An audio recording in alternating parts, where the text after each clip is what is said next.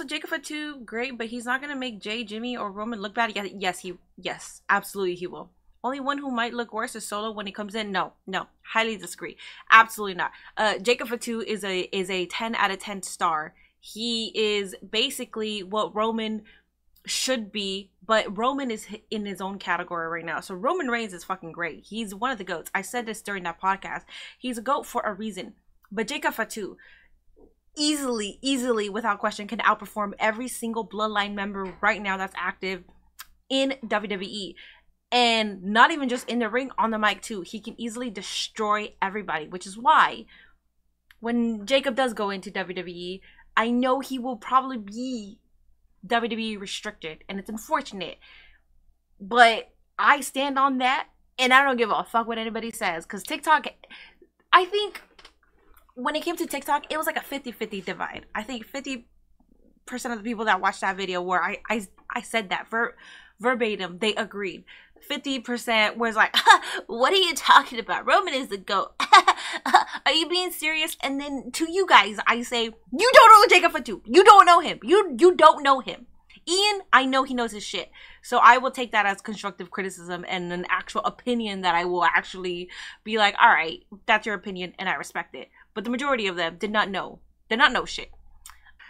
Uh, Jacob might go 50-50 with Roman, but ain't destroying him. Absolutely, he will be destroying him. There's no fucking shot that he would not be destroying him.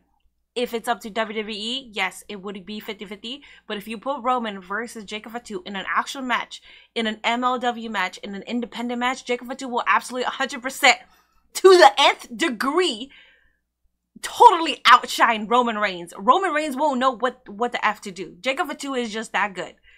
I gotta disagree with that because when Roman cooks, he can cook. No offense to Jacob, though. Yeah. So when Roman can cook, he can cook, but he can't do that on a weekly basis. He absolutely cannot do that every single week. Jacob Fatu, on the other hand, can not only do that every week, he can do it every freaking day. If he was given the platform to do this every single day, he will do Jacob Fatu every single day. Roman can only do it sporadically, which is why he only shows up every now and then, but also because of his part-time contract. But he has he needs the time to have that promo. He needs that time to work on his character, which is fine. I'm not saying that's a bad thing.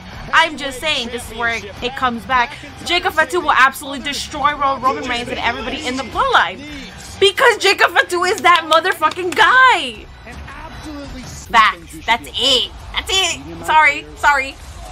Jacob Fatu would dog walk on every single Bloodline member if he was given the chance and he wasn't WWE restricted. Jacob would make Solo his bitch. He would. he would. He's like the true enforcer. But he would also make Jay and Jimmy and Roman Reigns. With Roman Reigns, there may be some sort of an argument, but not really. When you really think about it, there's really not a fucking argument, man. You're talking about somebody that does this shit every single week at any given time. You hand this man, man a mic and this man just freaking goes off.